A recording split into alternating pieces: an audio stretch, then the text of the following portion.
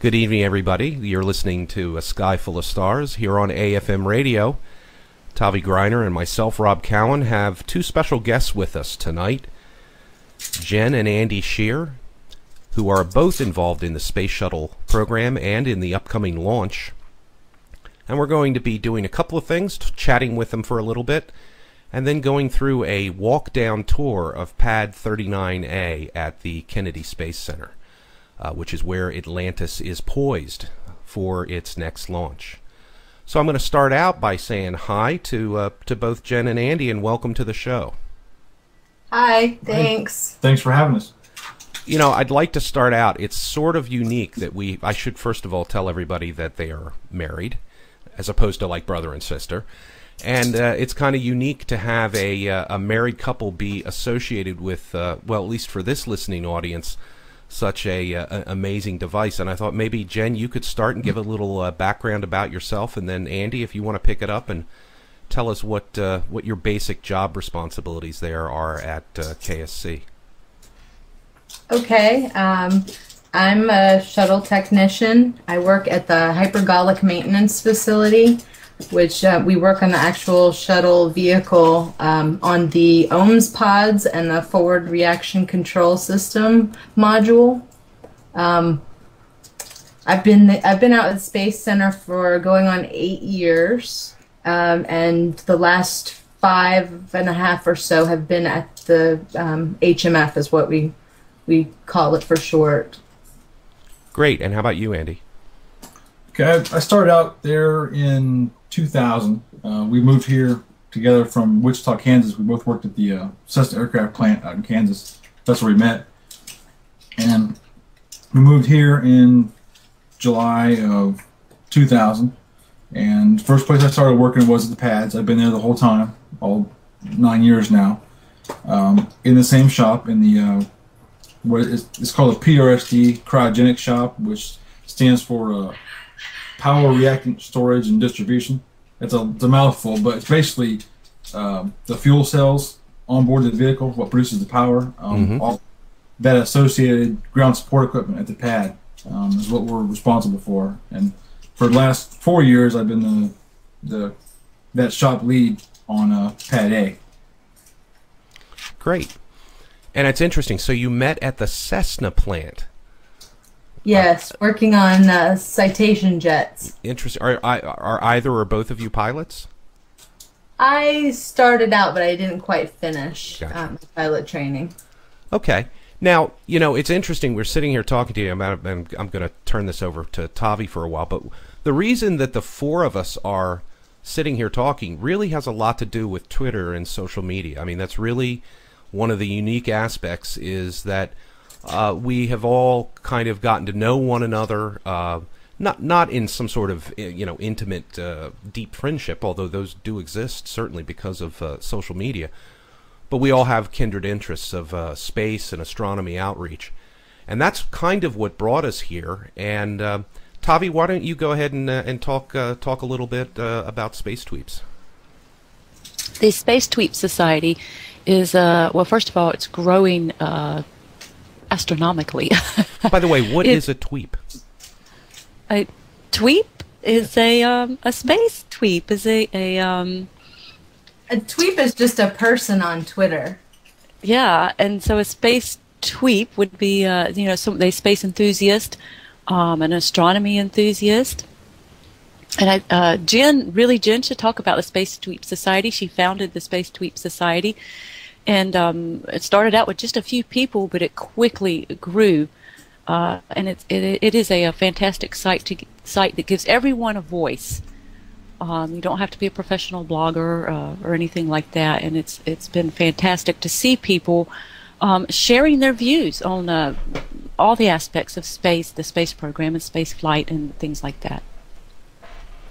Yes, it's it's been a lot of fun. Um, it was just this idea I had one day after seeing um, some some of the people that I followed on Twitter that were space enthusiasts uh, sort of rally around one of our our own um, after she'd had some uh, trouble at, with work about tweeting. It wasn't really well thought of. And I, I saw how much support there was for her.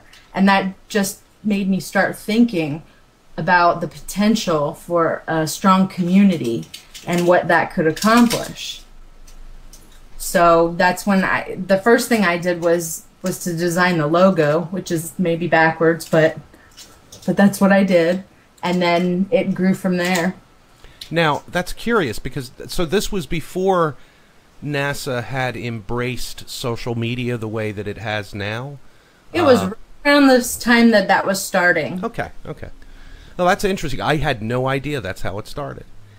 And now it has grown into really an international community. If you go to uh, spacetweepsociety.org, uh, as Tavi said, it's a it's a really interesting open organization. What what is your? I mean, do you have any goals, or is it just a collaboration of people talking about how social media can uh, can further space outreach? Is that really what it's about? Well, the um, the actual mission statement for it is um, to promote enthusiasm for all things space and to unite those inside the space industry with those who are outside looking in. Yeah, and, And- it certainly has done that. That's that was my goal because I saw that the people that were outside of, of the industry were like looking and wistfully in, you know, like, oh, I wish I could be a part of that. And I wanted to find a way to include them and let them be part of it. And I want to mention that um, it, this is very special because as we're talking about this right now, and how um, the community, the international space enthusiast community, has embraced this space tweep uh, society. We have Eric. Um, he's attended several of these NASA tweet ups. He's there um, in Florida right now. He got there today, but he learned how to sew. He brought his sewing machine with him, and he has um, made, created, um, made a Miko doll. Did you see that yet, Jen? I just saw that a little while ago. I can't believe that he went to so much trouble. Isn't it? And, and, and carried this um, sewing machine with him to the launch. I know that's that's amazing, isn't it? Yeah, and it seems like a little thing, but I just I think it's a, a wonderful example of um, how people are embracing the Space Tweep Society. They really are. I'm I'm amazed still to see how well it's done. Yeah. Well, you know, and it brings up an interesting point, and then we'll uh, we can move on to the slideshow since we got uh, got a lot of ground to cover. you know, we mentioned the tweet up, and for those that are not Twitter savvy, uh, a tweet up is a physical meeting of uh, of um, uh, Twitter users of tweeps, and uh, it's it's held in all different areas. It can be held around a specific technology, a specific product, a specific geographical area, like uh, things of that sort, political uh, uh, areas. And uh, NASA started these tweet ups, and, and Tavi and I had the the pleasure of going to the very first one. And then they had a second one, which I think Jen, I had to run out. I think you were at the second one, were you not? Um, with the um, ISS I w- was that the second or the third? third. That I'm was sorry. the third. Yeah. Yeah. Third one. Yeah, I was at the ISS one. Yeah, and uh, I unfortunately had to run out and miss the uh, tour of NASA TV, uh, which I was really disappointed, but I had a train to catch. Um, and they're really unique. I mean, uh, sitting in the um, Webb Auditorium there at NASA headquarters in, in Washington, D.C., I looked around myself and I said, you know, normally this place would be filled with professional media reporters, and, and probably there were a few there that were professional media, but the 99% of the attendees are regular, I don't want to call them users, but space and science enthusiasts. And that's a really interesting outreach opportunity for NASA, and then beyond NASA for all of the other things, including uh, right here on uh, uh, Sky Full of Stars and Astronomy.fm. So it's pretty, uh, it's pretty unique. Well, Jen, Andy, I'm going to turn it over to you. Uh, you can you can start with the next slide, which is the beginning of your slide deck, and uh, and walk us through the uh, walk us through pad 39A. Okay, we'll give it a shot. I wanted to mention you have a little pointer there that you can use. Okay. Okay, this is standing on the 255 foot level of the uh, fixed service structure out there, looking out toward the the crawlerway where the, the shuttle actually rolls up uh, when it rolls out. Um, the building in the, in the distance out there is actually where I work um, on a daily basis out there. That's right there. So in the upper left corner there is what they call the is the Gox vent arm um, or the beanie cap, what you see over the top of the external tank. Um, Oh yeah. well, that's this swings out and it rests over that. And it, what it does, it, it allows the the oxygen that has boiled off from the external tank to be vented away from the tank so that ice doesn't form on the tank. Okay. Just Oh, sorry. This is just the view looking down from the same spot. I, I assume that neither of you have a fear of heights. Um, not really. I don't think I would do well really up there. can't have one. There have been people out there that have had fear of heights, and some people do develop it over time. Some think they don't, and they step out of the elevator, and it's all open grading, so you can see straight down. And once they're out there, there are numerous stories of people being absolutely terrified and diving back into the elevator. And Tavi I- would be just fine because she used to paint water towers. um, billboards. I have a um, a question about this. Um, first of all, for people you know who've never even seen uh, any images or anything of a, a launch pad, and, uh, who may have never even seen a launch, um, can you explain the the deep area there, the trench there? Uh, that's in between. I guess this is where the crawler comes up. Yeah, the crawler comes up. The crawler comes up, and this is what it goes on one side's over here, and the other track's over here. So it actually straddles. This is the the flame trench. This is um, facing south. So the this is the, is where the main engine exhaust goes, and it's not really exhaust, but you see mostly water vapor coming from this side when the uh, it looks like smoke coming up, but it's directed away from the vehicle and up and away from the launch pad. And I just want to point out that the tracks right here are what the rotating service structure rides on when it's rotated. It starts out over here when the uh, shell rolls out, and then it rolls completely around the other side of the pad so that it surrounds the whole shuttle. So you really, there's no. It protects from the weather. It allows the uh, the payload, wherever that might be, to be installed in the vehicle. Um, if you can see, when it's rolled back into what they call the park position away from the vehicle, this platform right here and this one right here actually connect. And that's how you get out to move on to the, this part of the RSS. Mhm. Otherwise, now now it's, it's you come out this way. So things change a lot when it when it moves. You have to know where you're at and where you're going to go because you can't go the same way to get where you're going to go once it moves. I hope that answers everybody's question about that. It answers mine. Yeah, if we stay quiet, it means you probably answered it. Okay. This was just a view looking at um, the other launch pad um, that was converted for Ares. So, and those are the, the enormous um, lightning protection towers. Aha, I was wondering what those are. You get a better sense of how tall they are compared to the pad in this picture. Yeah, that's amazing.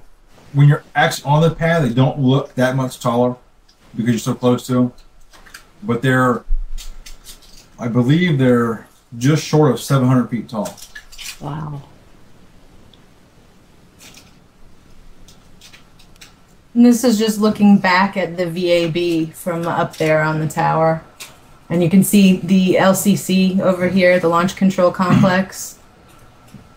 So is that where, uh, that's essentially where all of the uh, people responsible for the launch are at launch time?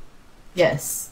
when you see the before launch, all the people running around and the, there's the, the media person that's talking about what's going on. They they'll flash to a place inside like a control room. Mm-hmm.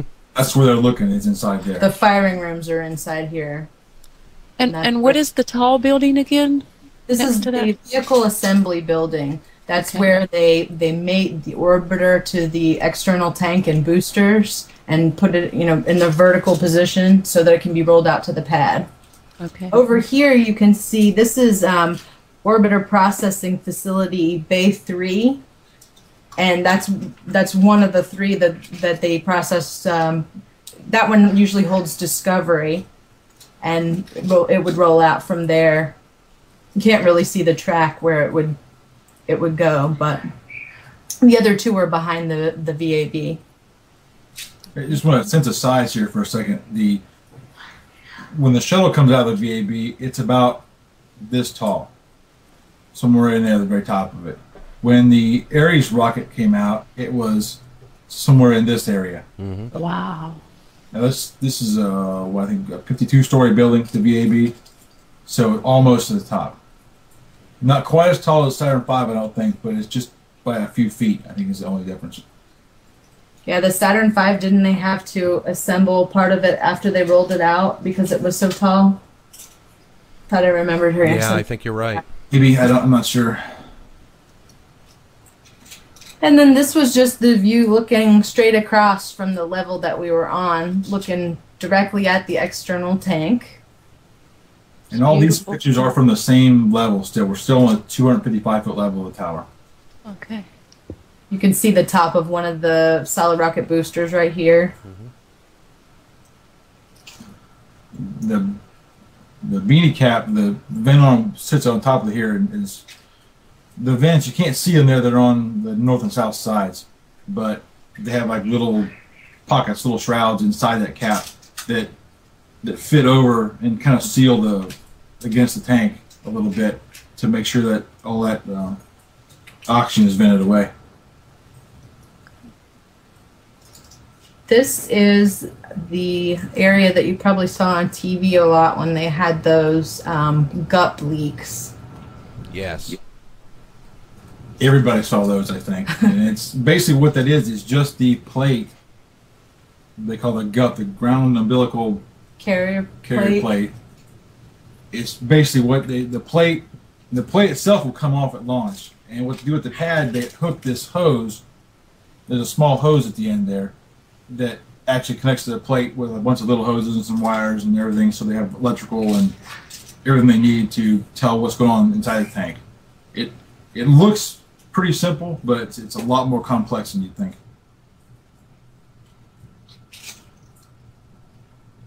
And this was just another view from the same area. You can see a little bit more of the um, lower levels there. You can see that what we were just looking at, that the gut area. I'm just looking at this and the complexity of it and trying to imagine Andy's first day on the job. It actually the first time I went there was for the interview. They actually flew me out there, and it was like my second interview. And there was, I think it was Atlantis, on the pad, and I got to go up there and, and take a little tour of what was going on. I think they knew they were going to hire me then, or they were going to offer me the job. So they took me a little tour of the pad while I was out there, and it was, it was something because I, I'd always wanted to be either an astronaut or I wanted to dig dinosaur bones when I was little. So Aw. this was something really neat that I got the chance to be that close to it, even if it was just for an interview and for the day. But I got a chance to stand, you know, that close to the, the space shuttle. It was a really, yeah. it was a big deal. This was just one where I was taking a, a picture of the uh, scenery in the distance, the beach there. And there's an interesting. You um, shared a link with me that talked about the uh, the astronaut beach house. Yeah. That is an interesting little story about that um, the purchase of that property. yeah. And, uh, Isn't that? Yeah, and the subdivision that once existed, and they kept the house, that one house, for a beach house, and um, uh, that's a that's an interesting little story about that property. Yeah, there's, I believe there's even some current um, space shuttle program employees whose families owned houses in that, that area. Um, who, either their grandparents or parents um, lived there at one time. So And they bought all of that property for thirty-five thousand dollars. yeah, Can you imagine today what it would be worth?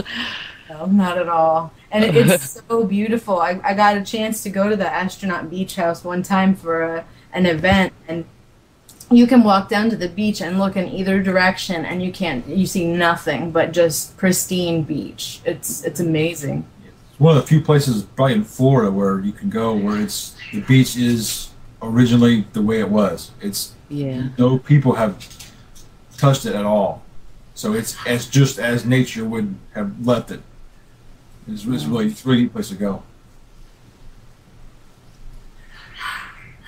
And just this is another I another love view. this. I love think this shot. It's beautiful. You can see kind of some of the interesting uh, lay of the land there with all the all the strange waterways we have. so flat. yeah. You don't That's what I like about it. there until you look at it from that high up, high up on the air. It, there's a lot of water and a lot. Of, most of that water is only a foot or two deep out there.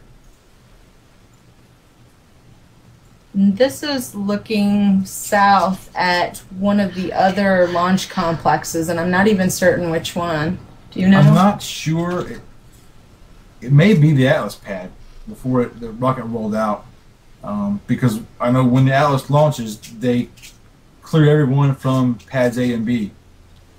There are a few rocket, few launches that are that close that we are in the, the danger area, so we have to evacuate our everybody on the pad, you know, during a launch. So it may, I'm not sure exactly which one that is, but There's a whole row of them going all down the beach. Of um, some of them are, are old from um, like Mercury and um, older programs, um, and then there are the the ones that are for Atlas and some of the newer Delta ones, and and- the ones they're building for the SpaceX has a, a pad out there, and there's there's a lot going on out there. There's quite a few um, towers and launch pads out there. yeah. And are they doing anything with some of the older uh, pads, or are they available for just tours, or what? I I'm not really sure. I don't know about tours. I mean, I think they're, they're in use or they're completely shut down. There are some spots I've been to. One of the, I want to say it was one of the Mercury or Gemini pads, and there's not much left of it. There's just some concrete out there with a little plaque. Yeah, the, there's a monument Yeah, there. there's not much there, but it's you know away from the, the normal missile row that, that's out there. Yeah. Um, this one was just a just a picture of their uh, of the signage on that level. And and somebody's pair of binoculars over there on the left.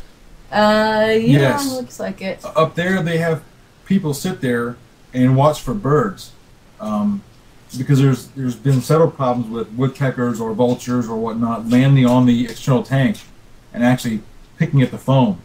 Not not to mention bats. That's, that's, but they're up to uh, you know scare away the birds and, and protect the, uh, the tank. Mm-hmm. And is that their job then? They just watch That- for that is birds? one of their jobs. They have other things. They're also they control access to the pads. They're kind of like not security, but they they check your badge and make sure Access you're control. Yeah, you are allowed to be there. So this is one of the additional things they do besides. Right. This is just another view and where you can actually see um, which one is that? That is the uh, hydrogen sphere, where the uh, liquid hydrogen is stored um, out there. I think they usually keep. I'm trying to think. I want to say 850 to 900,000 gallons of liquid hydrogen in there when it comes up to launch time. It's a little bit. Yeah, I'll say.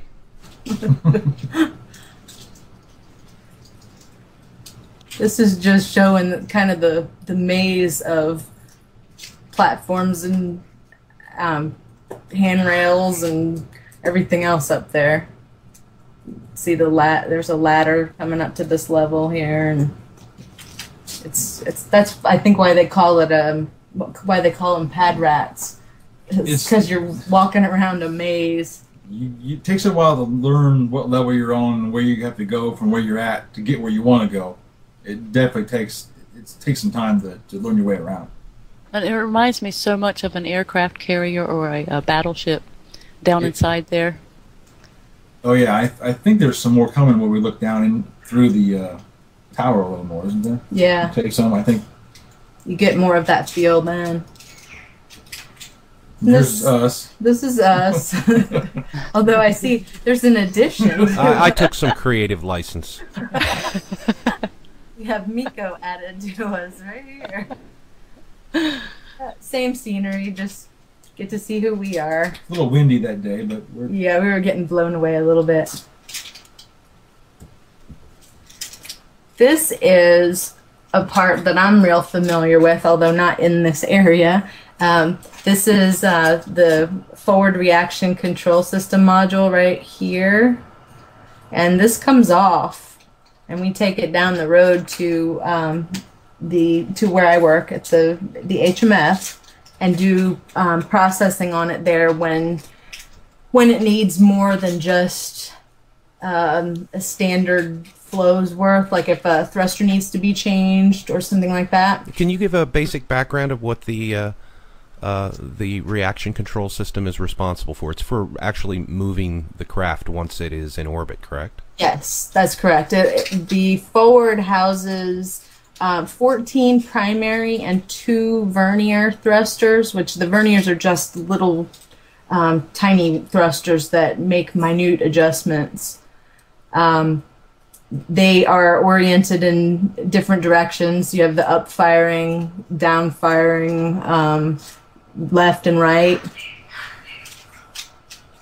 And um, it just uh, lets you maneuver, and that, that's how they dock to the um, to the space station. That's how they do the the deorbit burn, different things like that. And those these on the forward work in the same. They work in concert with the ones that are on the OMS pods in the back, the two big bumps near the on either side of the tail. and we'll get to those here. Yeah, we have some slide. pictures of those.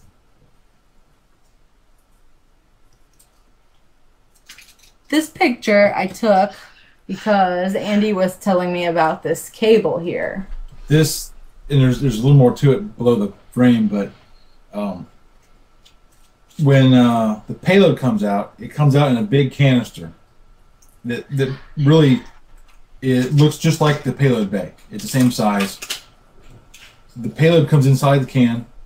It comes out vertical, and we don't have any pictures of this in the slideshow, but it comes out vertical and gets hoisted up into the same spot where the shuttle's payload bay would be and there's two of these cables. They hook a big beam to it that and lower it down to the pad surface. It's the uh, part of the 90 ton crane that's out there, and they actually pick up the whole the can and the payload and hoist it into place. This is this is the big cable that's you know, a part of the I don't know part of the hoist that, that actually hooks to the the uh, um, when they have it lifted up in place, they hook these two cables to it, and that, it'll, that holds it in place until they can lock it down. And there are several places on throughout the pad that that connections are made, and it's pulled against the, uh, the actual structure. Mhm.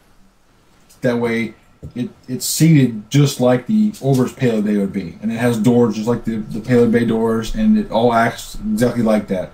So they can pull the payload out of that canister into the inside of the, the RSS because it's, it's a big clean room inside there. Close all the doors back up. The can goes away, and then when the orbiter comes out, when the RSS swings around, it mates back with the, uh, the vehicle, and they can open the, the payload bay doors and put the uh, the payload inside the vehicle. Okay. That was a very long description. Sorry. It's okay. It was very good. We we want to know. This was just a view looking down, and it's kind of um, at the spot between the external tank and the the bottom of the orbiter. That's uh, like what we see on the uh, video camera during launch, right? Yeah, real, very similar um, angle and, and shot there. This is just a close up view of the tiles. And if you uh, notice the little dots in the center, people have asked me before, is that, you know, how they're held in place? Is that where the hardware goes? And no, they're, they're actually bonded on, but the little, the little dots are holes where they inject uh, waterproofing solution into the tiles. So uh, somebody goes around and has to do that to every tile. It's a lot of tiles. It is a lot of tiles. And then this is just when we had, we went down to the next level, and this was looking up. This was on the.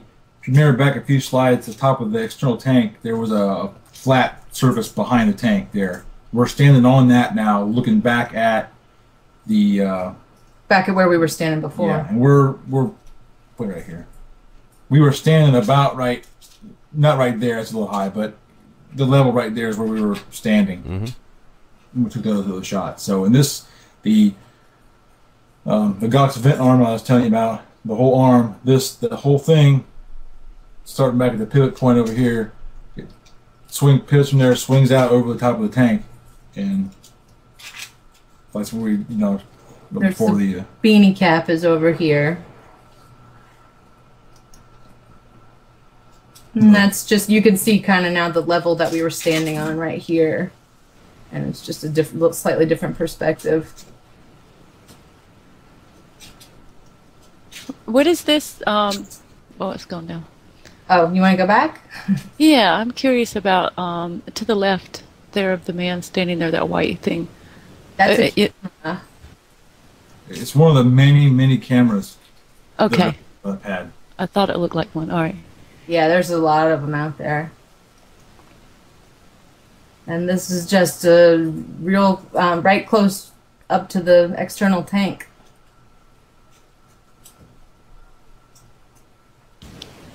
It's a beautiful thing. it is, isn't it? Very orange. yeah. Everybody always asks about these things right here. Tavi and I were talking about it, making guesses. It was to scare the birds away. Is what our Yeah, guess was. it's it's an owl, and I don't think they work, but still use them. We try everything we can to scare the birds away. But I don't think they really do anything, but they're an interesting conversation piece. You would think a launch would scare most animals away, but I guess they have bad memories. Wouldn't you? Yeah. Unfortunately, no. Um, these are the slide wire baskets, and Andy can tell you a lot more about those. um, this is the this level is the 195 foot level. This is where the astronauts behind us is where the astronauts actually get onto the the orbiter, their the arm and the the white room. We'll get to that in a little bit. But if they have to, you try to escape the vehicle for any reason, um, while it's the pad, while they're still on it, they run over here, they hop in the basket. There's a little paddle in each one of the baskets that they hit, and it slides down to. You see in the very back, there's a sandy area down there. So it's all the way down there where they stop, where it hits a, a net and slows them down, stops them. They hop out, and there's a bunker that's right there, right to the left of that, uh, that they would run into, and there's flashlights and a place to hook up their their uh, the pressure suit to breathing air and everything they need to stay in there while something's happening. Or if they can get out, there's a small armored personnel carrier that they can get into and actually drive away from the pad. Wow, that's amazing. Now, I guess during a launch, when this would be used, they're pretty much the only people there. Am I right about that? I mean, that really. The- Yeah, well, the astronauts once they get there, the closeout crew, the ones that are helping them in their the rest of their suits and their parachutes and getting them actually set in place in the vehicle. Um, so there's usually about seven of those, and then you know lately seven astronauts. So you can fit three per basket, and there's seven baskets. So And I would imagine part of their when they're preparing for their um for everything, they probably do a run through on this particular scenario. They do exactly. They do a couple different run throughs. They get to watch a basket slide down just like it would happen if they were in it. Um, we put as much weight in a basket as you know, about three people's worth of weight in the basket, and let it go, and they can watch it and hear what it sounds like and see what happens to it on the other end. And then when they're doing their what they call a terminal countdown demonstration test, their, their practice run of the launch, at the end of what would be the T zero or launch time, they'll get out of the vehicle, they come over in their suits with helmets and everything. They get they all get in the basket, and the baskets are tied up so they can only go about a foot, but they get to hit the paddle and just to be in there to see what it's like. So they get to practice, but no one ever really gets to ride down, at least at full speed. in the Mhm. Not necessarily a theme park ride, is what you're trying to say. No, you can make it about. They say about from the top of the tower down to the thing in about 18 seconds. Wow. I think is what it is. Pretty fast. That's just another view. You can see a, a better um, view of the side of what the baskets look like. And the in this picture, there the the signs say they're locked, and usually they're not locked. Usually they're not just for the astronauts. Just for they're for any kind of uh, pad emergency if someone's up there and has to get off the pad quickly. But what was going on? They were they groomed the area down there at the where the slide wires go. They level the sand out nice so that if anyone has to get out there, there's no tripping hazards or anything out there, and everything is working fine. So they can't. They have to lock them um, just to make sure nothing accidentally happens while people are down there uh, working on the landing area. This is just a cabinet on that level, and I'm not even sure what's in there. There's, uh, I think there's one of those chairs that you can fold up, little wheeled chairs at the, the I'm not sure what it's even called. If you have to, there's a like a sled that you could put some like an orange Stretcher kind of thing. kind of thing that you could put someone in. It- you know, medical rescue kind of stuff that if someone's really hurt, you can, you know, hopefully put them in that and get down the stairs if, if it has to.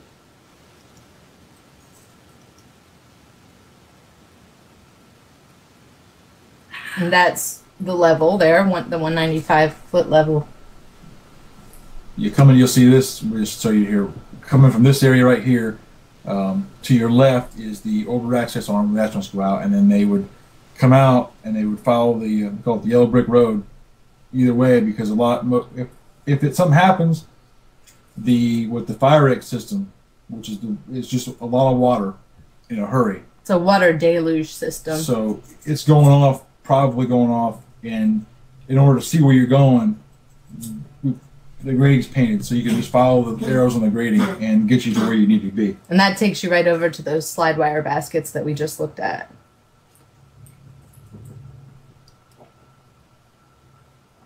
And this is looking down towards the white room. And this the orbiter access arm, like we are just saying where we were at before. Um, this is where they you see the astronauts. They're out right out here, and then down that walkway, and other end of those little doors down there is the uh, hatch the shuttle.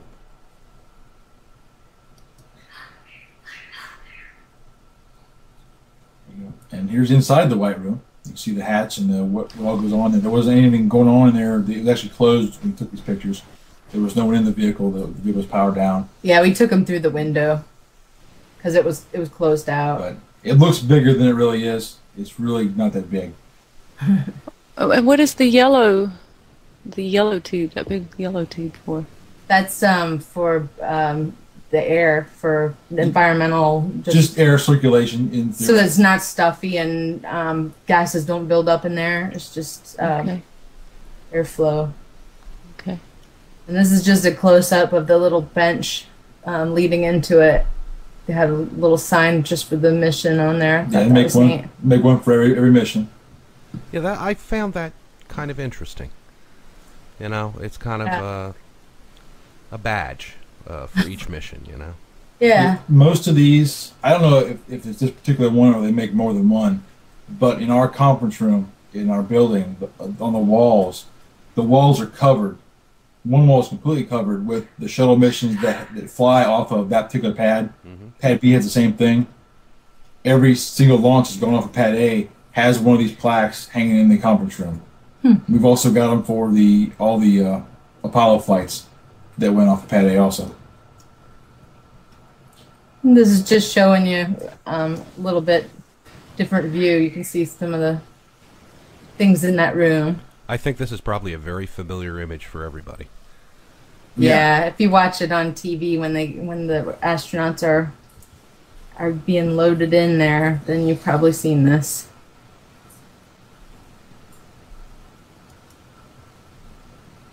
And then we had to take our pictures, of course. Why not, right? Yep. This is looking down at the base of the solid rocket boosters. And this is something that I didn't even know about when I went up there, um, what they're working on, which is the water bags. The, the water bags are there um, after STS one. Um, they had a lot. They had a lot of damage to the back side of the orbiter when it came back, and what they figured out it was um, the acoustic vibration of the the engines going off, bouncing back from the flame trench, and that, that vibration, that noise, actually rattled off quite a few tile. So what they, I guess they figured out, I don't know how they did it, but this better than me. All the water deluges there and the water bags are there to dampen the sound as it comes back up at launch. And they're not there very long, but I guess it, it they're long enough that it cuts down that vibration, you know, significantly. Split second, maybe. And this, the entire trenches down here get filled with these bags. This was just the beginning of, of them installing them, is what we saw here. Um, That's absolutely amazing. I've seen the. Uh, isn't it like a little pond out? It's not a little pond. That where the water deluge is. Uh, is that the, for the runoff or is that for the actual water storage? It's for the runoff. That water storage is in the water tower. Well, that makes sense. And those are O-rings on the uh, on the solid rocket booster. Those are well, you can't see the, the actual O-rings like, like I think you're, you're thinking about. Okay. It's just I'm not sure if that's if the the rings where they're attached. They put foam over them um, to cover them up. I think just for aerodynamic reasons, or you know, just to protect them. There's a lot of extra foaming that goes on, and then they get painted all the way around. So just to I think there's a waterproofing and a you know, anti-corrosion and probably quite a few other things that, that I haven't heard of yet. This, This is, is a the- wonderful shot to show the expanse of the uh, Kennedy Space Center. I mean, just look in the distance there. yeah, it's, That's some some of the um, other launch pads, right? yeah, like that's the one that we had Yeah. looked at closer up before. And there's there's different launch complexes all along there. all the way down through the Air Force side. It's, it's, it's a long road of them. Yeah, Oh. quite a few.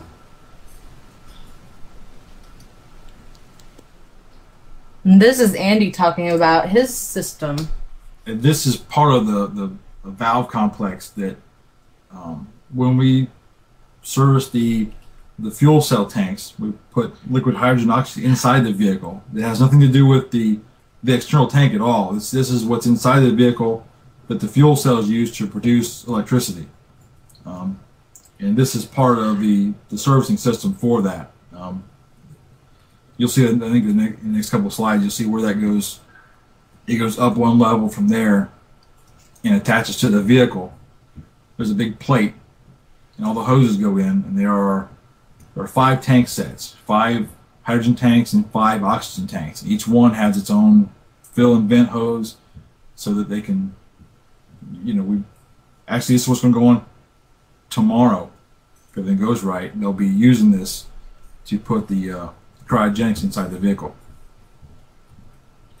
And then that there's this is another view um, this back is, farther. There's the plate that we were just looking at here. Yeah, everything in yellow moves. It slides forward and back so that it comes back all the way. Um, so it's out of the way when the, the orbiter gets there, and we rotate the RSS around it. Uh, and we it takes us about an hour to roll it forward and, and actually do all the connections to it to get it hooked up.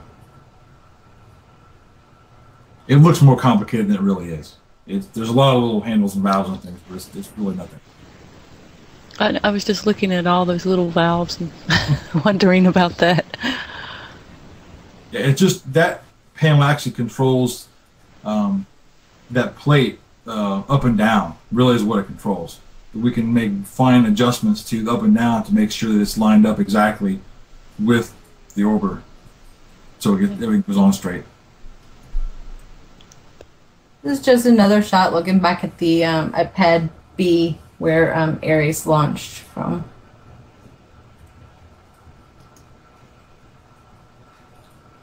And then this is a shot of the scenery, and maybe you can tell us about that. Yeah, that is the uh, we call the perk pond. The square pond on the left is where the runoff. There's two of those. After launch and all the water that comes off and all the the water we use to wash the whole pad down afterwards goes in there. And they check the pH level of it and treat it to make sure it's it's acceptable. And then they used to just let it go off into the, the swamp. But now they, they pump it out into that pond. There's some sprinklers. You see the row of them right down the middle. There's some sprinklers that go out and it goes into it fills this pond up and it, it soaks in or evaporates away instead of just letting all the water and it booster residue whatever go into the swamp. So it, it keeps it a little nicer and doesn't mess with the environment around us as much. And this was This was uh, down where the external tank connects to the orbiter. Um, behind, not this part, but behind there a little bit is a, a few bigger pipes. They call it the, the 17 inch disconnect that where actually the, the fuel goes from the external tank into the orbiter. So you, for, you know, at launch.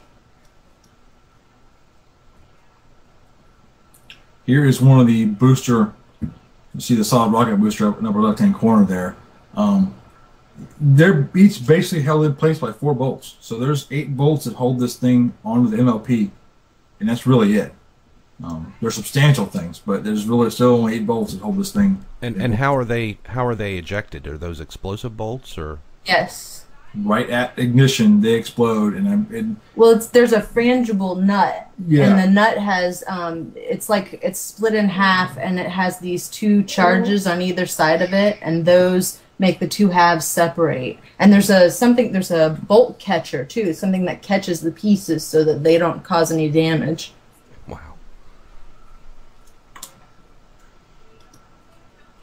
And these are just the people that were working to fill the water bags underneath. it's a, it's about a day's worth of work. It's it's a little complicated because certain bags have to go in certain places, so they all fit together. Because some of the cords run through other bags, so you have to make sure you have the right bag in the right spot, or you know, it's not going to go together right. That was a picture right off the side of one of the boosters. This is one of my favorite photos. There- is just something. It, in fact, it reminds me of of something. I, I think on uh, Twitter today, um, somebody was asking about what it's like to work on it. Do you still find it amazing? And you said something about it. Um, it's being di- it's different when you work on it, but that ultimately ends up with a, a f- with a familiarity and pride at launch. And this is kind of a, you know, kind of just a it's a nomenclature on top of something that most people who aren't really even you know serious enthusiasts of the space program are all familiar with socket ro- uh, solid rocket boosters and this just makes it kind of generic almost it's just amazing Yeah. you know Just like some- i could pull that part number off and put it into a web form and order one Yeah, sure. Order a couple. Well, you have your own train track coming through your backyard. right? and you gotta assemble it yourself. some assembly required Some, yeah. that would be a good shot if somebody put that up as a goof This is another um, shot of that 17 inch disconnect area that we were looking at before. You can just get a um, d- little bit different perspective of it. Yeah, if you if you see at, at launch, you'll see the pictures of the uh, external tank, and the ones they show immediately afterwards.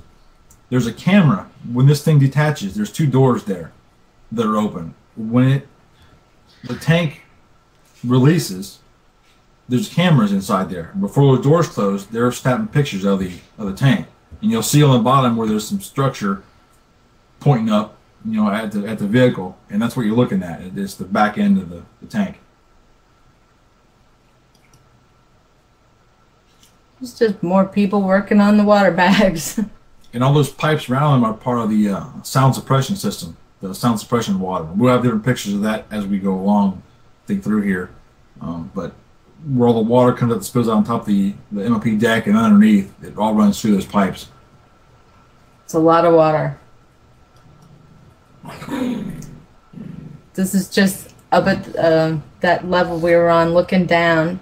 And is that one of the? That's one of the bolts. This is one of the attached bolts where, that holds the um, booster down there.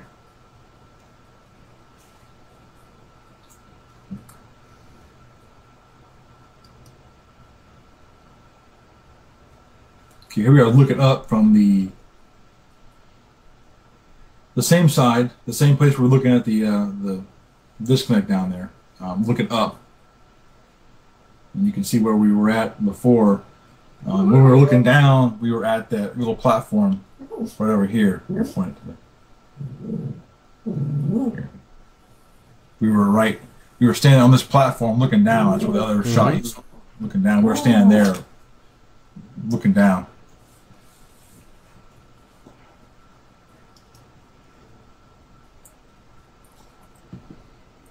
We are on, um, and there's some. I think there's another picture of this later on.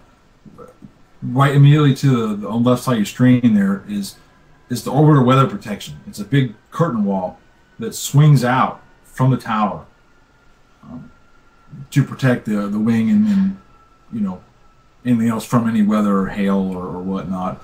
And the walkway we're standing on right there actually swings around all the way to the other side of the tower and, and stows there, and that that wall that's that's back, like you see behind me there, um, sits flush up against the tower, so it's all flat and out of the way at launch time.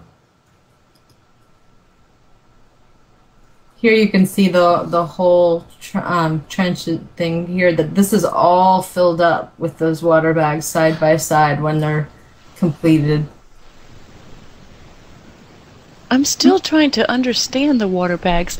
Like this, we have the, those three: the red stripe, the red stripe, and the yellow stripe. Is are each one of those a big water bag? Yeah, each Yeah. each one is its own bag, and the, the only reason they're color coded is the yellow ones go around the booster, and the red ones are just the ones that line up um, in the in the main hole.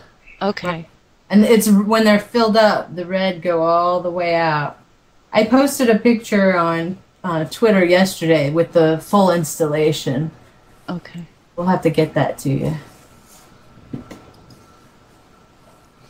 And they the bags. It looks like they have baffles in them here to um, kind of keep the water Yeah. compartmentalized a little bit. Here's another good shot of the uh, the hold down bolts, um, right there. You see the side, and and this side has these little red hoods on this side uh, because at launch the the whole vehicle actually would say walks but moves that direction about well we have pictures of the We might. the, the deck, but you can see where it. The main burn marks aren't actually here. They're about thirty feet, you know, to your left, Hmm. because it walks that far before it, it actually gets high enough off the uh, off the deck. We might have a picture of that. Kind of, you can kind of see it right there, right right? in here. But you can't get a perspective on how Right, because you can't see how at. far away it is But- here. That right there is a sprinkler. Um, one of several that are on the zero level. Um, there's a good picture of the water tower. Yeah, you can see the water tower and where the supply comes from comes that. through. And there are more pictures of that I think later on. Yeah, I better think so. pictures there.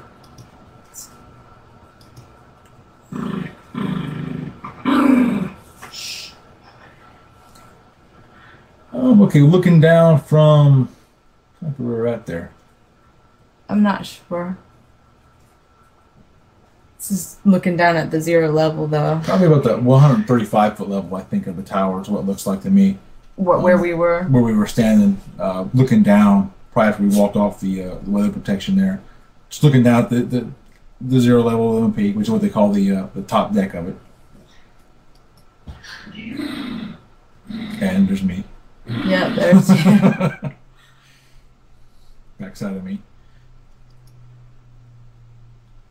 She was fascinated with the water bags. I'd So never a- seen a those. of- I had never seen the water bags before. It's interesting how you can see right here how the um, the connections to get around um, the boosters here, how they have to um, go through the other bags. Mm-hmm. I, I to this point, uh, up until this point, never knew there were water bags. I knew of that the sound suppression system, but I did not realize that they actually had to architect this because of the what must be significant vibrational energy. Yeah, I'm with you. I just learned about it. What was that Wednesday? yeah. It, it takes uh, four or five hours. They don't come perfectly assembled. You got there's some assembly required of the water bags too before they even bring them out to the pad. To get them ready, there's some strings have to be tied to the end that actually hooks them around the uh, the MLP itself to get everything ready. To you know all those cords tied on. They Sorry. Mu- they must not like this section of the slideshow. Sorry about that. Keep it on here. Okay, here we come down to. Well, this is the left wing. yeah, you can kind of recognize where you are from the the NASA meatball there on the wing. kind of gives you a little size perspective with the guy there. You can see Yeah. how, how big the thing really is when you're standing right next to it. And then there's that guy. These are his feet. He's in, I love that shot. he's in there doing some work. No, Uh, he's asleep. You never know. He probably- It could be. You just got there, so I think. it's I, I think he, it's safe to say that he was he was doing some work. and these are the these are the little booties that um, you wear over your shoes in there, so that you don't bring any dirt and contaminants in the vehicle. Or she don't leave him in the vehicle. Right, and it's I don't know. Um, a lot of people have heard of or seen bunny suits that are worn um, in the orbiter a lot of times. hmm He didn't have to wear that because he the work that he's doing is in the aft section, which is not an area that the crew goes in. Um, so the shoe per, the, you know, they want the shoes to be kept clean, but it's not you know as critical because you're not um, leaving particulate that the crew might breathe in or that might screw up um, instruments. So it's not as much of a problem there. Close up. Close up, of course. And these you can see here some of the um, these are the thermoformed covers that protect um, some of the lines that are in there. Um, those all of that stuff has to be taken out before launch. There's a whole big trailer full of stuff that comes out of the vehicle as they're getting ready to. They call it closing it out as you're closing the door for final time for flight. There's a lot of little platforms and ladders and covers. a lot of things inside there. There's a lot of stuff inside there just to make it so you can get around and do whatever needs to be done inside there. This yellow thing that he's on right there, that's a, a platform, and then this is like a cushion on top of that, so it's not so hard to lay on. And everything's got a label and a number on it. Everything Yeah. does. They know exactly what's in there, you know, where it's at. Yeah, there are Yeah. logs that have everything that's put in, and they have to be cleared when it's taken mm. out. That's me. And that door that we were looking in is right over here. I love that shot. That's a nice shot. You gotta go for the meatball shot there. Yeah. This is just an interesting perspective shot. I think you probably recognize most of the components there. This is the other side from where we were just looking at. Um, same thing, but opposite. They generally go into the other side. That's where the, the normal access is. But this side, if there's a there's a access control monitor, like the one that was on top, um, watch for birds. They sit in a little booth, and if you're going to actually go inside the vehicle, you have to stop there. And you'll give them your badge and anything that's in your pockets, and you'll make a list of the tools that you have that you're going to take in with you, so that when you come out, every you can inventory everything and make sure you everything you went in with you came back out with. So they control it pretty tight. So they just go through one to one door usually. then what you had the little pointer over there by that window or door? This Yeah. Is It's that just- it's a clear. Um, it's just a, a temporary door that's used during processing. okay? That gets taken off, and they put a real door on there that's solid. And they call it a door. It's, it's not a door It's like a you think. It's, hole. it's just a it's just a kind of a panel. It's but a hatch or. but everything everything goes on there. They call a door. So That's true. They do.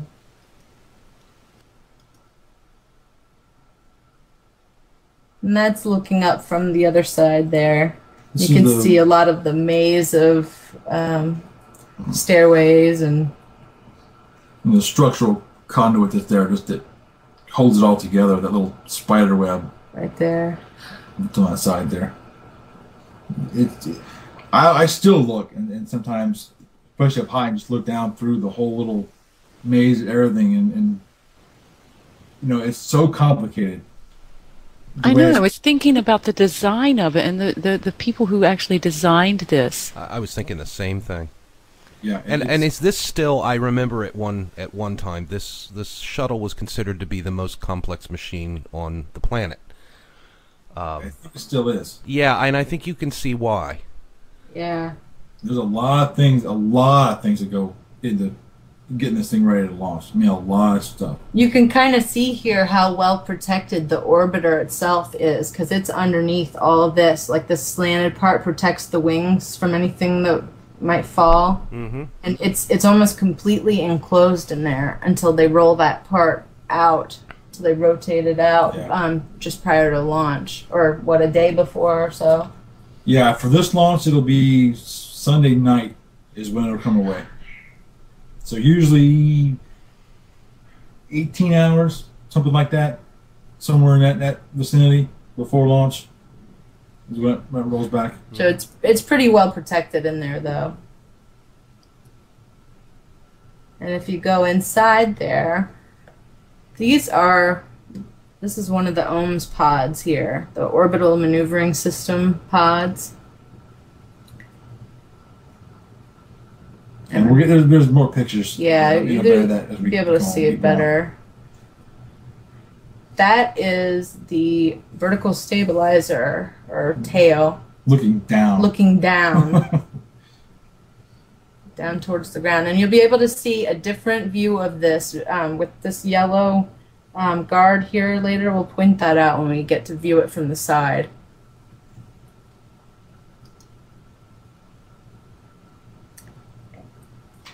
Here. This is um, this is the last thing to unhook before launch. This is where all the electrical systems and gas systems, all the instrumentation, everything um, goes into the vehicle. This is what's on the the um, the tail service masts, the TSMs on the MLP, the two big two-story buildings on either side of the shuttle when it's on the pad. big gray lump kind of things Yeah. that that reach up towards the wings of the orbiter if Yeah. you if you see it. And this is where the this is actually also where the how the tank is fueled. Um, the liquid hydrogen oxygen that goes in the external tank actually flows through the orbiter to get to the tank. There's no other connection but the orbiter to that. So it flows all through the orbiter to fill a tank up.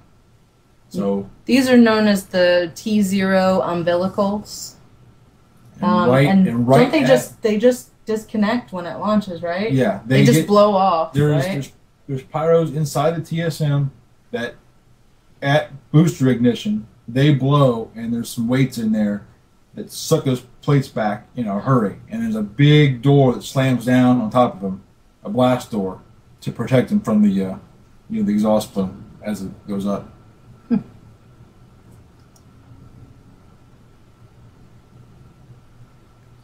This is looking um, straight at the vertical stabilizer between the two OMS pods here. One thing I'll point out just just real quick is is is those three streamers there on either side. Those are the APU um, exhaust ports. When you see it land, you might see some little puffs of smoke or something come out of the back of the, the orbiter um, while it's on the runway. That's what is, that's what it's coming out of. Um, the They're- APUs are there to for hydraulic power and such. Auxiliary power units. So yeah, thanks. And that's what that's where it's coming from. That's why that little puff of smoke or something. You can see it especially on when they do the thermal imaging of the when it comes back in. You can see it puffing a lot more. That's what that is.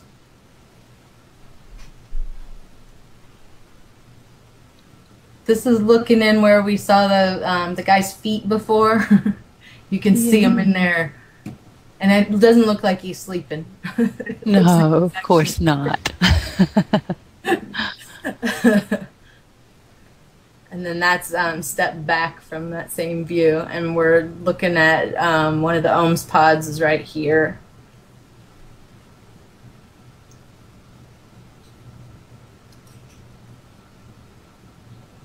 Here is the aft, back part of the wing, um, the left-hand wing. This is the, the flight, actually the aero surfaces on the back, um, like the ailerons on a plane. Um, Yeah. the, the guided control it while it's in the atmosphere, and not so much on the way up, but mostly on the way down. Yeah. And then this access was to what? Um, the servicing the auxiliary power units, there's uh, hoses that we run down there and disconnect and hook to the, the, the vehicle to service, uh, put the hydrogen fuel um, for those auxiliary power units. That's where that goes at. Okay. This is a closer view of that area we looked at before with the tracks at the very beginning.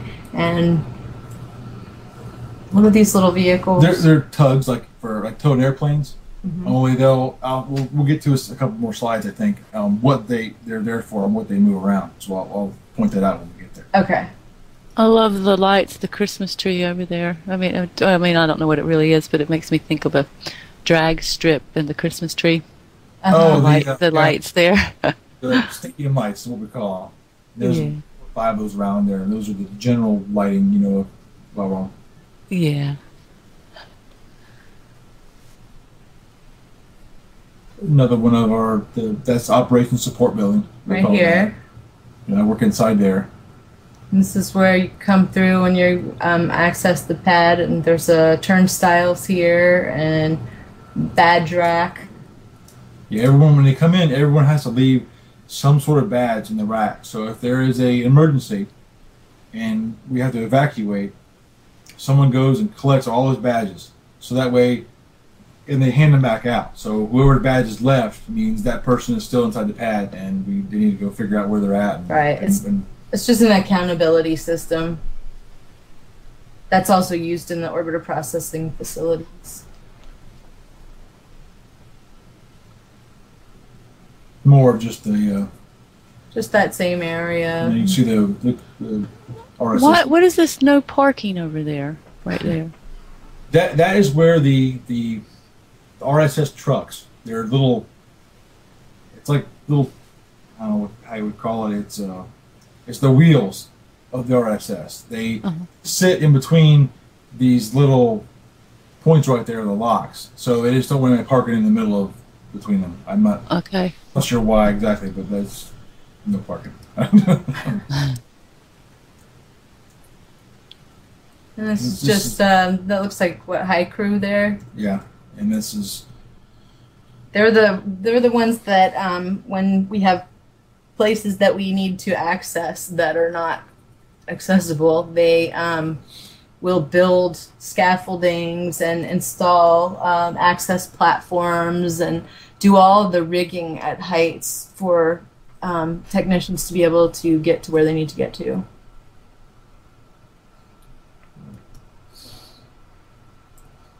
Here is the um, the bottom of the um, the OMS pods.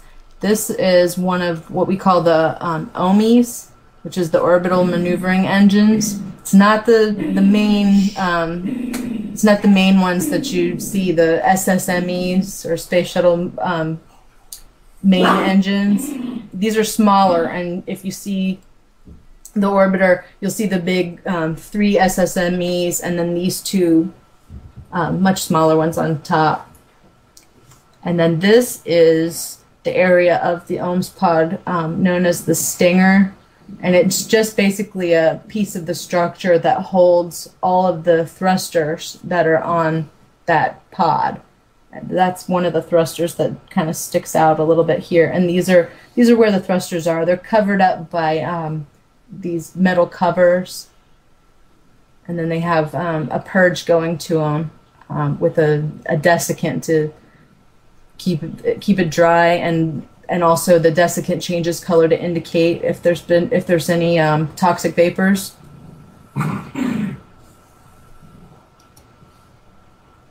This is one of the SSMEs. You can see it next to It's substantially bigger. Yeah. next to the uh, the OME there. That's a real good view there of one of the um, stinger areas of of a pod. Shows all the the different thrusters and how they're oriented. This is one of the vernier thrusters here. You can see how Yeah, that is a really good. I never have been able to visualize what it is you work on until just now. We'll have to send you some more pictures because I have some much better views. It's hard to explain any of this unless somebody can actually stand there and you can point to it, or like this one, you can you can show pictures because it's it's hard to explain in a way that that people Yeah. know can picture what you're talking about. It is. It's very difficult. This is just another view of the SSMEs here. This is what part of the That's part of the vertical. the vertical stabilizer. I love that. I just want to reach out and touch it. It sounds corny, but you know, it's the shuttle, and you just want to reach out and touch it. Everybody wants to touch it. And then they would have Yeah. to send in a whole crew to inspect where you touched. It depends on where you're touching it. You're not you're not supposed to touch tiles and all that, but there's a lot of the stuff that we work on on the the pods that it's okay to touch. So just depends on where you are. And this is a is a rather complicated shot. Yeah.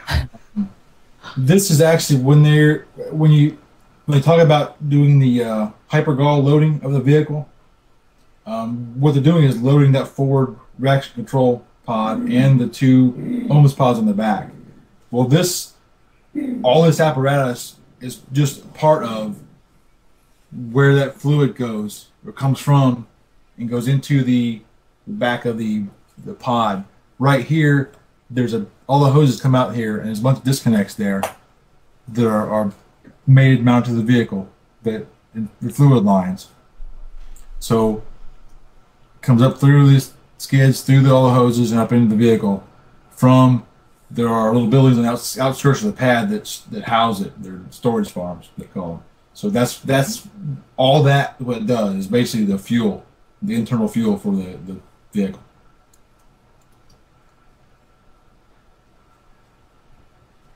Here's the um, the other side. This is the other pod.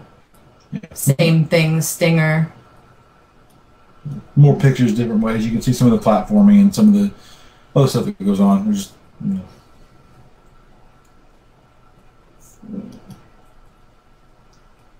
This is the This is- inside of one of the tail service masts. you see how they, the door when they close the door, how what it takes to make sure the door stays closed. It's got a Yeah. At launch. mechanism. Now, when that sign says ordinance installed, which ordinance are they talking about? The, the, what the ordnance that explodes inside the TSM that will allow the T zero T zero umbrella. car- yeah com- umbilical plate. So that umbilical plate we saw earlier. Yes. Yes. So there, it's in there. It, it may or may not be connected electrically, but the ordinance is inside, so you don't It's go there messing around. It's a warning. This is um, when we were looking down at the vertical stabilizer, the tail, and I, we should saw that yellow thing. That's this here, it's basically so that you don't bump your head into and damage the tiles on this tail right there. You know, I, I see that remove for launch sign on a number of the slides, and it always Yeah. reminds me of like when I buy a computer printer and it has all those things inside of it you have to remove, and if you forget one, and it gives you a new respect for, like you were saying, taking a log of everything that's on there. That everything that has to be a nerve wracking job. Yeah, they- they're not. These aren't necessarily logged. What they do is they color code them. So on the MLP zero level, anything orange you can just look at. If it's orange, it gets removed at some point, and it has to be gone at launch time. So you're not really writing it down, but it's just you look over and there's nothing orange, you know you're okay. Yeah, no, I see exactly what you mean. Here's the bottom side of the SSMEs, and we couldn't go up in there because they were doing some kind of something, Something that they don't, it's not usually done. I'm not sure what it was exactly. some kind of a purge that could have caused an oxygen deficient atmosphere. So something. So That usually could have been a bummer. Yeah, yeah, usually you can get pictures right up underneath there. It's a, it's a weird feeling standing there with the engine bell over top of your head. Yeah, uh, especially when you think about what it looks like when, when those ignitions go off. Yeah, it's a it's a, a strange feeling when you're standing there, and it's you know you, you know where you're at and what happens at a certain point. And just like tell you, the, all these platforms that are here, all of that. And I don't know if you have a good picture of the uh, the whole, but all that gets lowered down and is gone. It gets lowered down and, and taken away. I think there's a picture. We might have a picture of Where, later. of where that gets lowered onto and, and where it goes. these um these engine bells here too. They have really uh, neat acoustics. So if you get to stand in one and you talk, it's it's got a really neat um, echo if to you're in the right spot, it, it don't make too loud a noise because it. I've done that and tried talking to it, and I was in the right spot, and it's if you're too loud, it comes back to you as loud or or quite a bit louder. Which is what you would expect from a rocket nozzle. It's it's a, it's a big thing. I mean, in terms of having to be able to reflect and focus all of that energy out to the pad. Your bottom side of the, the feet, I guess you could call. Them. I, I always thought it was feet. I you know I always I still think them that way uh, of the boosters. It he it does look like um, from that side. You'll see in a, a couple more pictures. It it reminds me of like a robot. Me too. Yeah, if it was the yellow, it would actually look like Big Bird, kind of. But It does. It does actually. You're right. Um, This just this is the um, pipe with the uh, water for the yeah, the for the sound damage, yeah. suppression system there, and then just people doing some work. This is a communications box here. These are sprinklers, I believe, right? For that Yeah, I think- sound suppression system. these these may be more uh, fire wreck stuff, water deluge, uh, in case of a you know uh, probably a, a an aborted launch, something those would come on to, to soak everything down, just to make sure that you know no fire, nothing nothing happened afterwards. They're it's like a big fire hose nozzle. And they're covered up so that somebody doesn't bump into them and hurt themselves. And you can see they're orange, so obviously they're you know Those get removed. There's a nice view that makes it look like a robot. yeah, Yeah, that's a great shot there. I like that.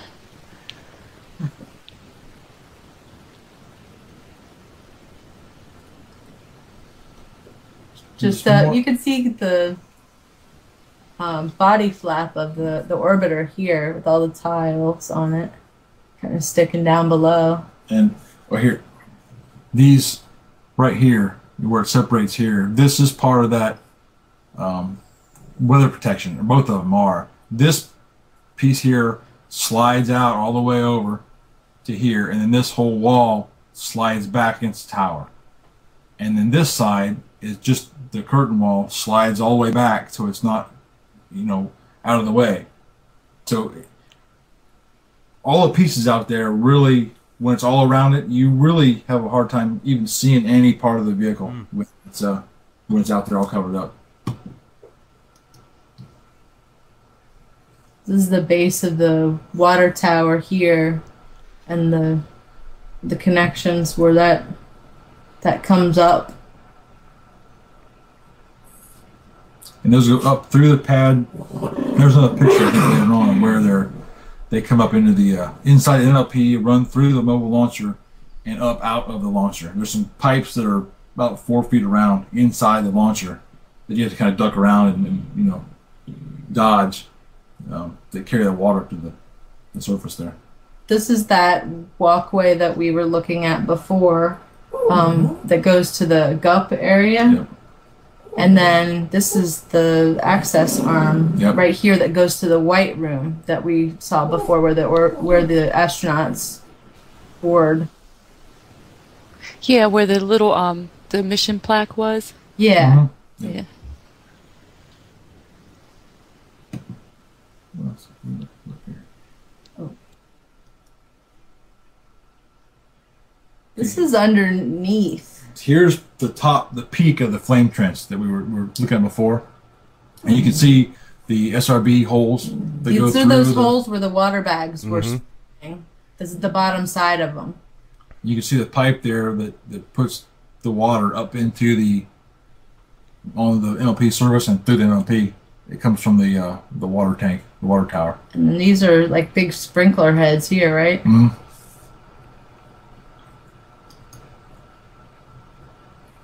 You can see that it's it's kind of checkerboard pattern. Every time, especially recently, every launch, some of that gets blown away.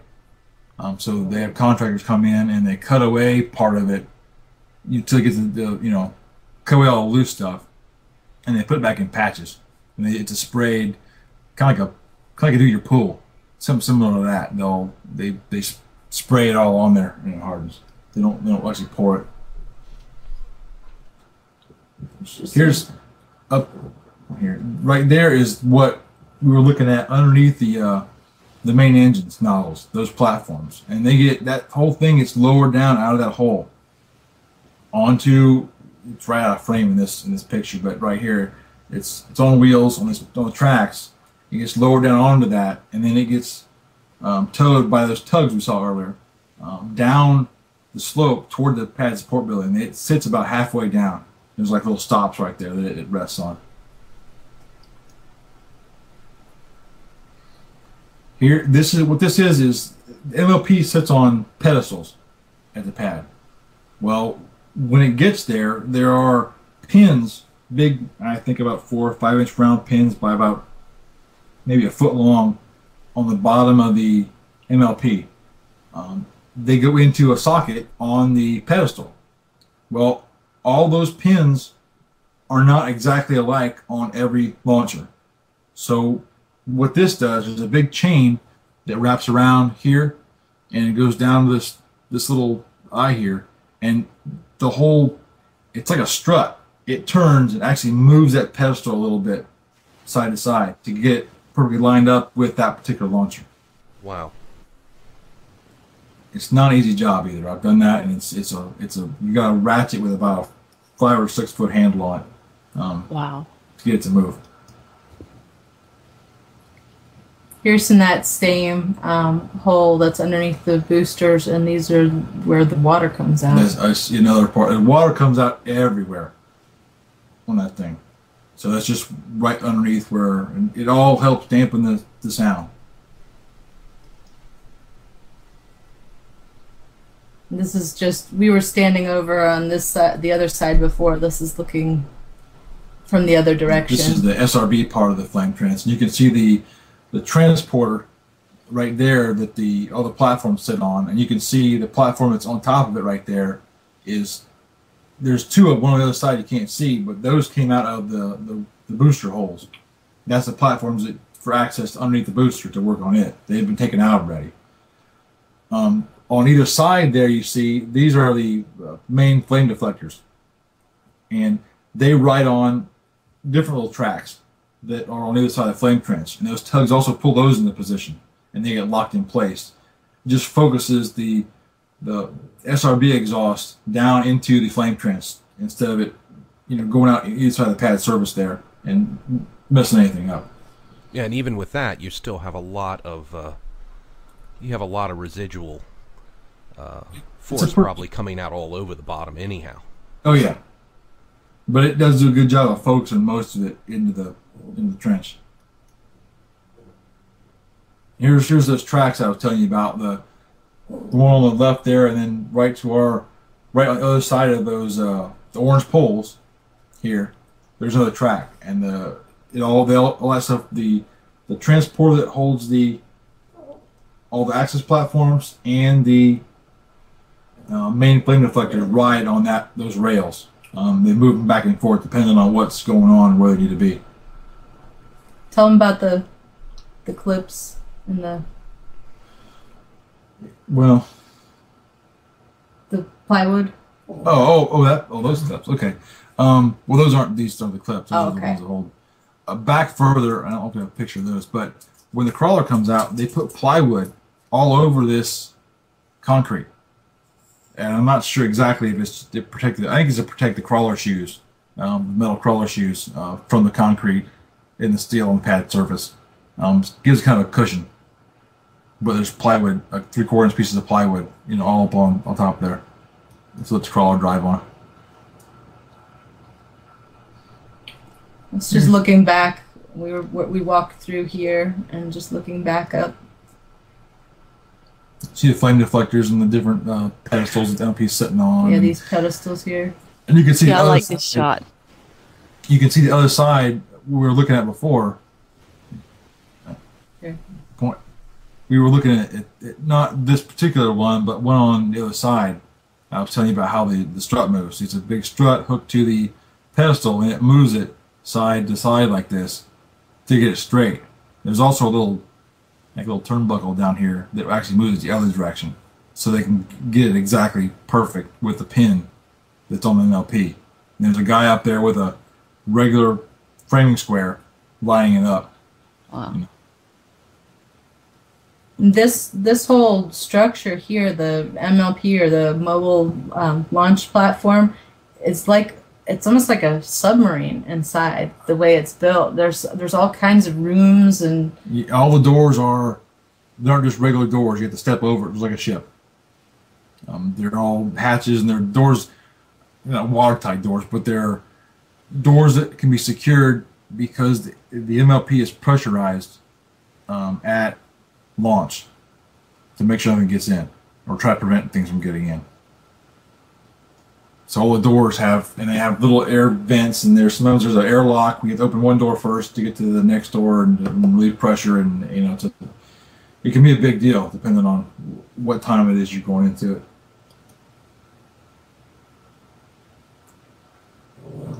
and that's an even different perspective looking up. Gives you an idea of all the steel work and the structure and everything that's that's out there. You know, that's that's needed to, you know, get to every area that we need to get to out there.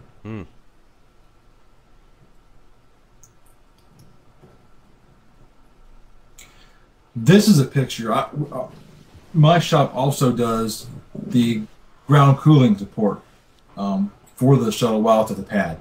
Um, there's several levers levels of uh, freon chillers in this little room on the pad surface that circulates freon through the vehicle and you know to keep the vehicle cool. Not not necessarily for people, but it's it does what the the radiators on the payload bay doors do in space Mm-hmm.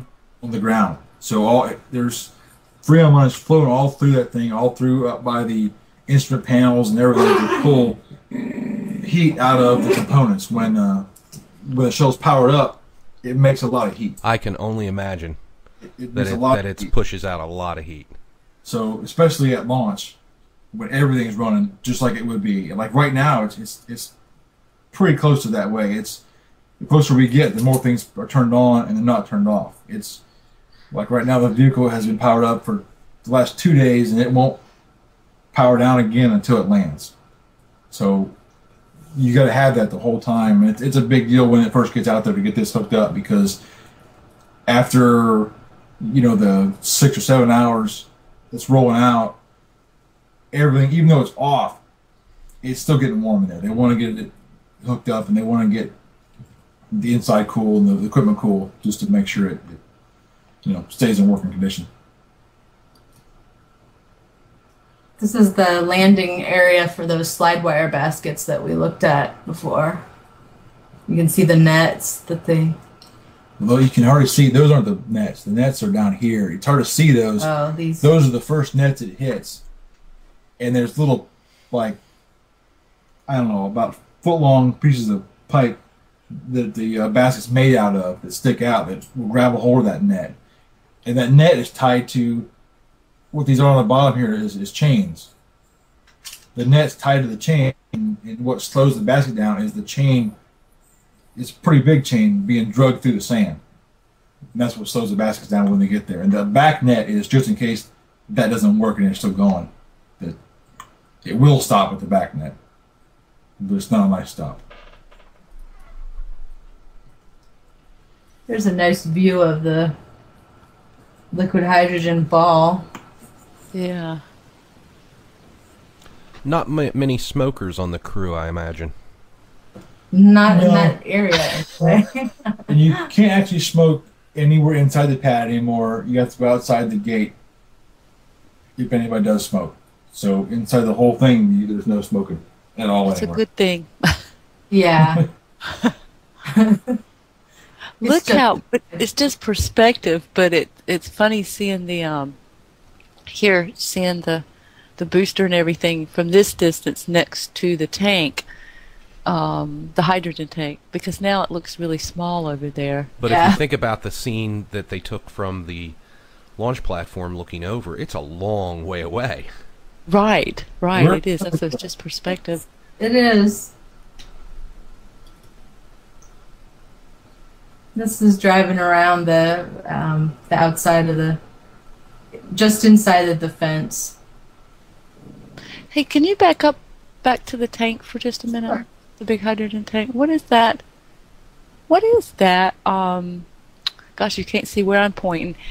Uh, okay, the rail along here, the the silver rail, and underneath there, it almost looks like a it's a coil. Looks like a radiator coil almost. A ra- That's what I was trying to think of. Radiator. What is that?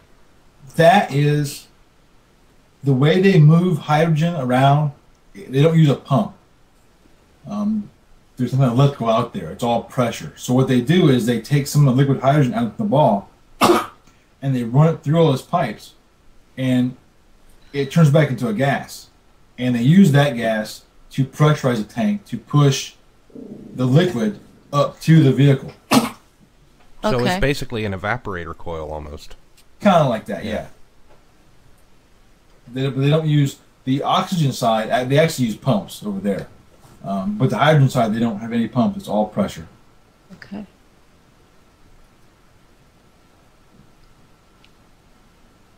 Just a you know far back perspective there.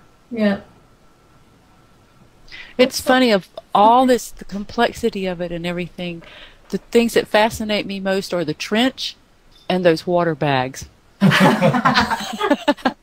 so funny. It's the simple things. Yeah. So many little things that no one knows about. Little things that that, that aren't glamorous, that aren't you know a big deal, that don't aren't a huge part of you know the whole launch process that, that go on out there that, that you just don't know about. Well, I think that was what uh, is fun about this particular presentation is that we kind of got insight into some of those uh, those aspects of it. Things that uh, you know there is a lot of uh, there's a lot of big things there, but there's also a lot of nuance on a launch pad, which you don't really think of. And it's all Yeah. an integral part of it. it. It's it's amazing how many little bits and pieces there are that it takes to um to, to pull off a launch. It is, and there there's could probably be ten more slideshows like this of different stuff, completely different things that you know you could talk about. That's Yeah. you know, there's so much, so many different things that, goes on. What are these here? Those are the uh, the gas batteries, they call them. They're the the nitrogen stored there, the helium, and the oxygen, gas oxygen stored underneath there, and these great big uh, cylinders, kind of like your uh, Like the tube banks? kind of like that, but just great big. And then this is our last shot as we are leaving. That's a beauty shot too. I like it. It's covered up. Well, and if everything is going right when everybody is listening to this program, uh, then this thing should be uh, this exact one that we're looking at here should be um, coming up for a launch, or we'll remain optimistic and just leave it at that. Yes, we're we're crossing our fingers. We want it to go. right. And Yeah. uh, We really like when it comes out. We're really ready for when to come out, but it takes about a month and it's there. And at the that end of that month, we're ready for it to go. We want to, you know, we want to launch. it. Ready to send it on its Yeah. way. yeah, I, I have to imagine that while you know, I was thinking about when I was thinking about you guys particularly, I was thinking about like conversation at the dinner table and things like that. And I mean, you, you know, you probably don't talk shop that much, but uh, you oh, probably you'd be surprised. yeah, you're geeks, so you probably do. Yeah. we talk And- shop a lot. uh, you know, I just thought about, and I'm sitting there, and, and it's like, we're, we're we're we're part of the team that launches the space shuttle, and I'm sure that's probably the way you were when you first started. Uh, but I get back to that idea that even though it has become familiar to you, you still both, you can hear it in your voice, have a lot of awe and respect for, for what you're part of. Sure.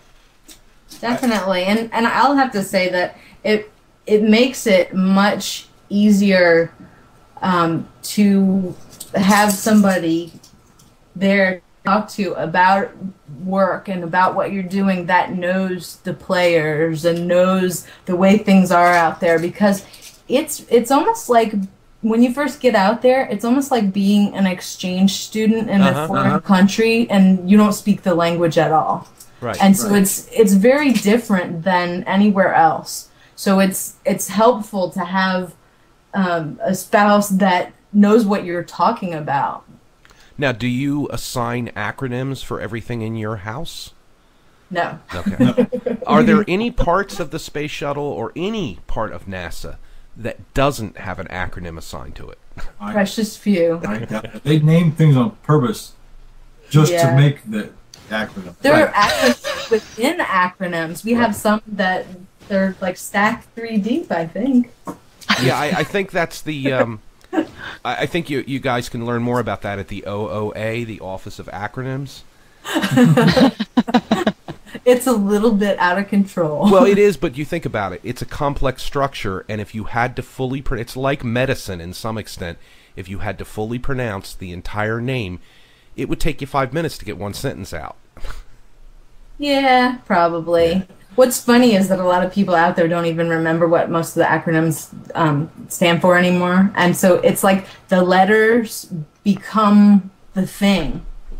It's like they, they know what it is, but they couldn't tell you what that stands for. Well, I have to tell you, you've kind of ruined one of them for me, and that's MECO, which is main engine cutoff, which is obviously a very critical part. Now, every shuttle launch that I watch, when it's time for MECO, I, I envision our our our uh, Space Tweeps Society mascot Miko, uh, the little Twitter bird in his spacesuit. Is it a he or a she? um, I think he's it's a he. Okay. Really? Yeah, No. I think so. Well, listen, thank you both for being with us tonight, and You're- we really enjoyed it. And I'm sure that the viewers of this, this will uh, uh, be available uh, for viewing uh, on uh, the um, uh, AFM astronomy.fm and the uh, the Sky Full of Stars website, and it, it's going to be something that uh, I think a lot of people are going to really enjoy. I sure Yeah. do. We hope so. It's a special treat, special treat. And of course, we'll all be chatting with each other over the next few days um, um, as um, the shuttle um, launches and uh, and the days following following that mission. So Well, thank you very much. We're going to end the interview and return to normal programming. Okay, thanks for having us.